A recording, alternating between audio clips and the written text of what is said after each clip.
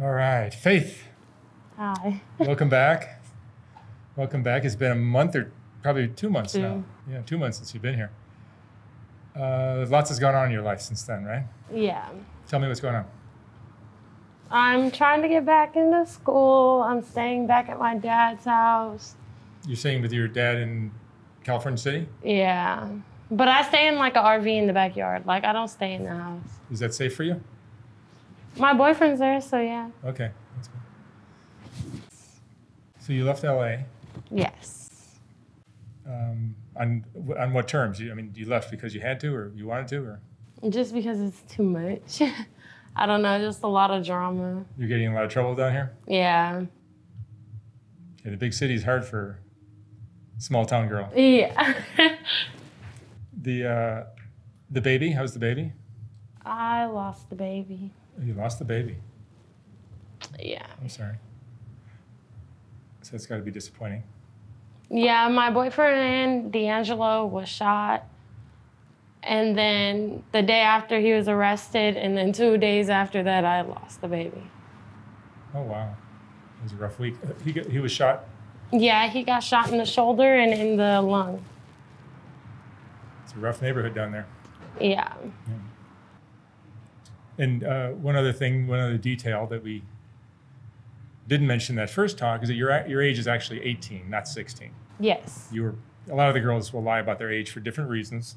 We we don't need to ask why, but, but you're actually 18. Yes, I'm 18. And um, so you're living in California City. What are your, what are your plans now? Well, I'm trying to find a school like in Riverside. So once I find a school, I'm gonna set everything up. I'm just trying to like sit somewhere where I don't have to pay rent or nothing, so I can save up my own money and go get my own spot when I do find a school. Are you still working? On and off a little bit in Bakersfield, not out here anymore. Yeah. Okay. So Bakersfield has still got a market for that kind of work. Yeah. And uh, what do you want to do with if you go to school? What would you like to study? What would you like to do? I'm gonna study social work Okay, and so- I'm gonna be a victim's advocate. That's right. You talked about that last time. hmm And uh, tell me about the crystal meth use. Are you still using that, or No, not really. But after I lost the baby, I was using it because my boyfriend was still in jail. But since he's been out now, and he got out on the second, so you were you were in L.A. working Figueroa Street for how long? like three months. Three months. And what's what, what what's your view of it after that little stint? It's burnt out. LA is burnt out. what do you mean? like it's just bullshit. Like I don't know, just drama and nonsense. A lot of drama, a lot of nonsense for sure. Yeah, it's a, it's a it's a rough way to go through life. Yeah. Yeah, I can't imagine doing that for longer than three months. I can't imagine doing it, period. But the longer you're down there, the more you kind of get Yeah. stuck in that in that world, and you don't know any way out, right? Yeah. A lot of people have been doing it for decades. It's sad. And where do you think you guys will settle down? Huh? Where would you guys settle down? Would you move to another city, or Wherever I find a school. and D'Angelo is working? He's not working. He's, know Well, he's- I just know got a flyer. Yeah, I just got a flyer for him to apply for a job. So, because somewhere in Cal City right now is hiring, and that's where we're at right now.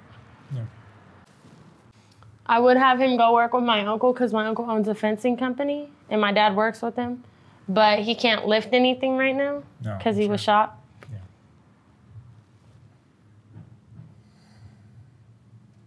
Would you ever come back to LA? Maybe to visit, but not to stay. Yeah. Too fast?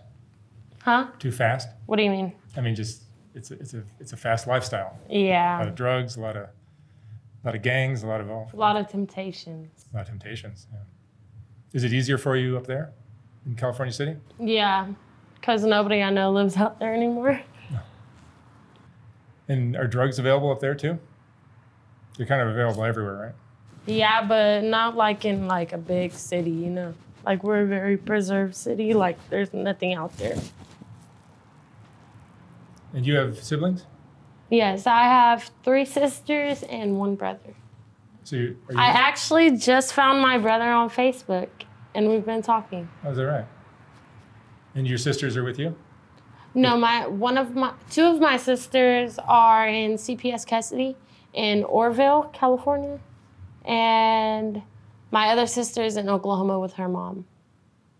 And my mom is about to get out of prison in Missouri and get a house out there. Would you go live with her? Is that a possibility? Um, she said uh, she would contact me when she was out for me to come visit. And your your sisters are in CPS custody because of why?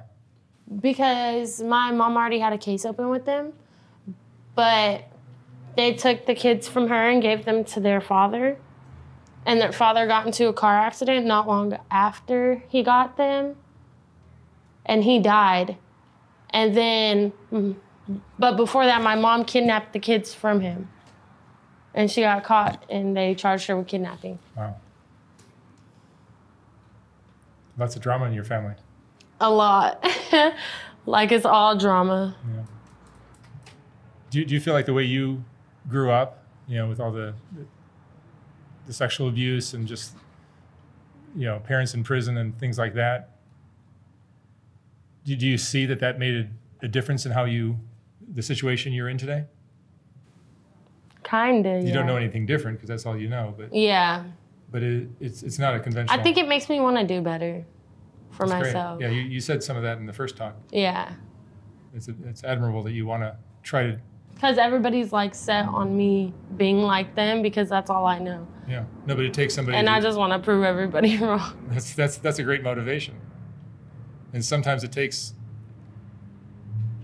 that kind of thinking to uh, just to change the uh, pattern of families that just keep repeating the same Yeah, breaking the cycle. break the cycle. Yeah, it's wonderful. I hope I hope you're successful. Do you want to have kids one day? We're still trying. Yeah, You're- you're young. Yeah, you can have you have plenty of decades to do that.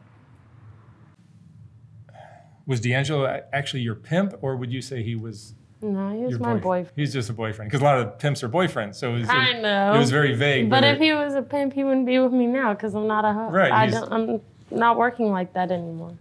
well, a little bit. A little bit, but not But- enough to but keep not- a pimp around. Right, right, right, right. So, so that makes him look Yeah. look better because he looked like another just another boyfriend on Figueroa Street. yeah. So he seems like a better guy than I first presumed. I didn't know. I mean, it's like you know, I'm just going by what I hear, and what I hear from most of these guys is that they're, they're boyfriends. Yeah. You know, so that's good for you. That's good for you. You guys gonna get married? We are. He already asked my dad for permission. Oh, congratulations. That's great. Very exciting. Yes. Well, Faith, I'm glad you came back. It's nice to hear some progress in your story. I'm sorry you lost the baby, but I think there's all kinds of uh, wonderful things that can happen for you, especially if you go in this direction. I don't think I was ready. I think God just wanted me to see my opportunities before giving me a child. Hmm. Yeah, you're still learning lessons. yeah. What, what, have you, what, what, what have you learned lately? From your experience in LA, what have you learned? Life isn't all about just looking cool and pretty and making people like you. It's about liking yourself and making sure you're okay Mhm. before anybody else. It's a good one. That's great. All right, Faith.